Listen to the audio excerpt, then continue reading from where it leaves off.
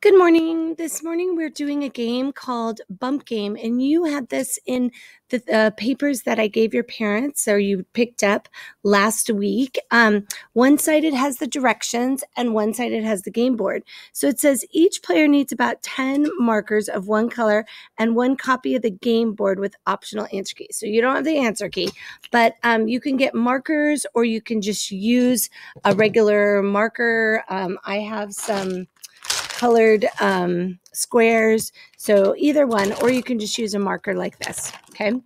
Um, and it says to have the most squares covered by the end of the game. That's the objective. So you roll a pair of dice. So you'll need your dice, and I gave you those in your supply kit as well.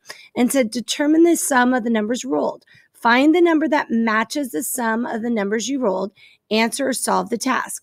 Find the answer or solution in one of the circles place your marker on the circle, or you can use just a marker to mark it off.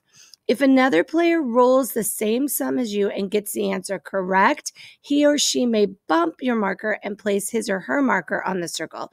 You can protect your circle by rolling the same sum again and placing another marker on top of the existing one. Two markers on the same circle by the same player will protect that player from being bumped. So you can play this with um, a partner at home, or you can play it by uh, by yourself. Up to you. Okay. So I'm going to roll the dice first.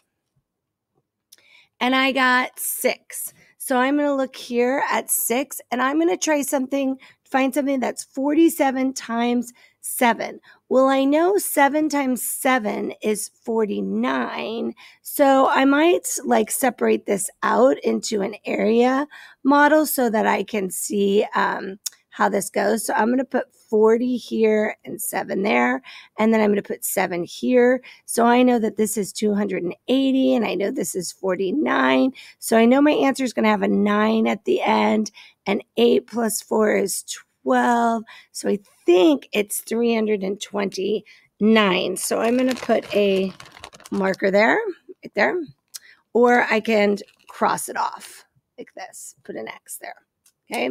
So now I'm going to roll again and I get seven. So I'm going to do that problem here and try to find the answer. And you can play it as bump or you can play it as tic tac toe. You can go down, across, over. You can play it with a partner. There's lots of ways to do this to practice uh, double and single digit multiplication. Okay. So you're using your dice, you're using the answers here to try to figure out the answers here. Just a fun way to practice multiplication. Okay. Have fun with the game and I'll see you at 1130.